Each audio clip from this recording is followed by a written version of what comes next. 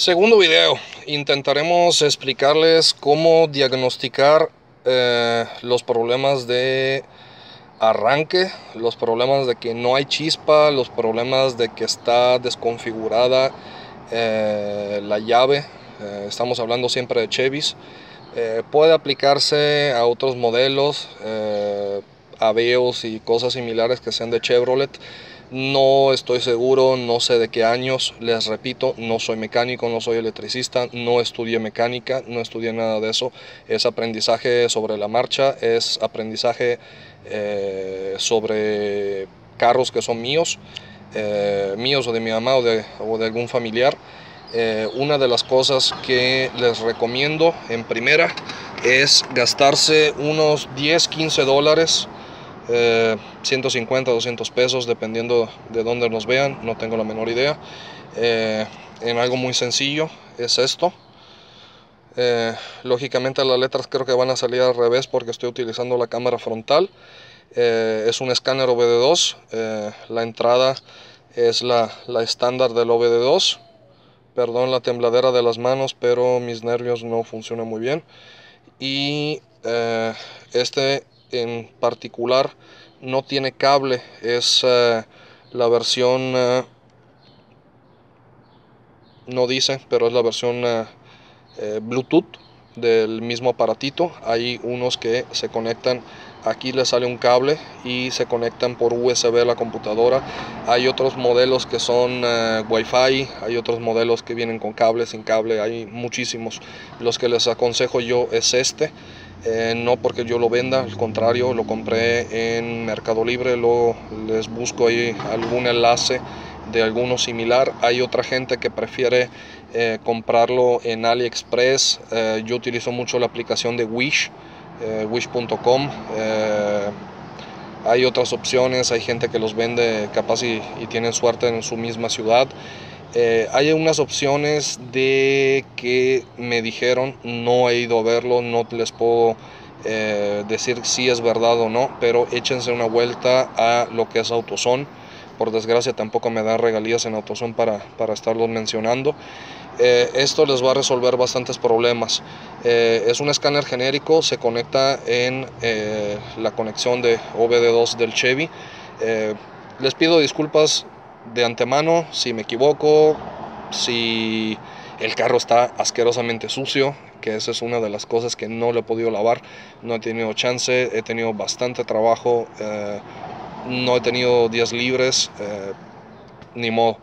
Eh, si me equivoco, pues si alguien más sabe más que yo, eh, con muchísimo gusto se aceptan los comentarios, si son comentarios constructivos, adelante, si son comentarios eh, para nomás estar fregando, eh, pues evítense de todos modos, si no sirven para aprender, pues a mí me da igual. ahí les va. la conexión, aquí estamos adentro del Chevy, es el, la garrapata que le digo yo, es el Chevy que uso para trabajar. subimos herramientas, pinturas, cortadoras de metales, soldadora. Eh, es el, la vaquita, le dicen, porque eh, ya está bastante madreado el carro. Eh, ahí ven el volante, no tengo ni siquiera los interiores puestos. voy a cambiar de cámara si es que se puede. No, no puedo. nos vamos abajo de lo que es el volante. Ahí está el volante. Ahí pueden ver las llaves del carro. Nos vamos a la parte de aquí espero que se alcance a ver. No tengo luz. Este es el conector. Es el OBD2 se enchufa. Y empiezan a prender unas lucecitas. Espero que se alcancen a ver. De perdida ahí la lucecita roja. Ya con eso tenemos conectado el escáner a la computadora del carro se le puede decir. Hay algunos carros que necesitan tener la llave o sea la emisión el cuadro en esa posición. O sea, la llave antes de que pegue el, eh, el, start, o sea que el motor de arranque empiece a dar vuelta. Es, es, una, es un ataque menos. Eh, se ve los logos ahí de la batería, perdón por el polvo, no lo he lavado, les repito. Se ve el logo de la falta de eh, presión de aceite, es normal, no, no crean que no traigo aceite, es que no está en marcha el carro.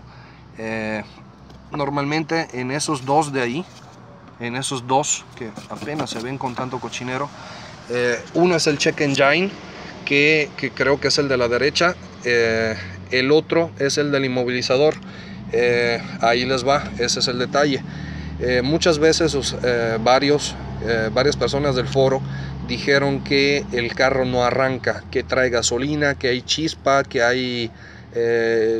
todo funciona. Eh, me acaba de mencionar una persona que acaba, acaba de mencionar una persona, perdón, eh, uno de los compañeros del foro eh, comentó de que se le reventó donde va la llave. Algunos le dicen cilindro, otros le dicen de otras maneras, dependiendo de la zona de México, de América Latina donde estén. adentro, en esta zona, aquí no lo voy a desmontar porque la neta me da flojera alrededor de esto. No sé si lo alcancen a ver lo blanco no. Lo que está atrás de lo blanco eh, es una antenita. Adentro de la llave de esta esta es de modelo 2007 hay otra que son cuadradas redondas y x y y. Eh, por la parte de ahí donde ven que está quebrado ahí se le saca ese pedacito y por dentro tiene un chip. Los que dicen que los modelos de Chevy, fulanito de tal, no traen chip, eh, sí, los modelos del año 2002, 2003 o creo 2004 para atrás, o sea, los modelos viejitos, no, no traían chip, es casi igual la llave, pero no trae chip. Eh, los modelos del 2003 o 2004 hasta el 2013 que se descontinuó el Chevy eh, de la versión C3 que fue la última. Eh, si tienen chip es igual en todos los modelos. Eh, si les dicen no es que la versión 2013 es diferente de la 2017 no, es cierto. 2013 pero no es cierto. Todas las llaves son iguales. Lo que, lo que cambia es la forma de la llave. El chip es igualito le queda a cualquier Chevy del repito 2004-2013 lo que les enseñaba donde va la llave es la antena.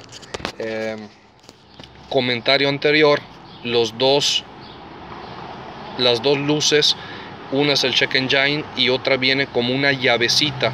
Muchas veces cuando ustedes ponen la llave y abren el switch, una de las dos se queda prendida y es que está verificando la llave. Si uno de los dos o los dos quedan prendidos, tienen un error Puede ser códigos de error eh, de X cosa, para eso ocupamos el escáner, o puede ser que la llave no esté codificada.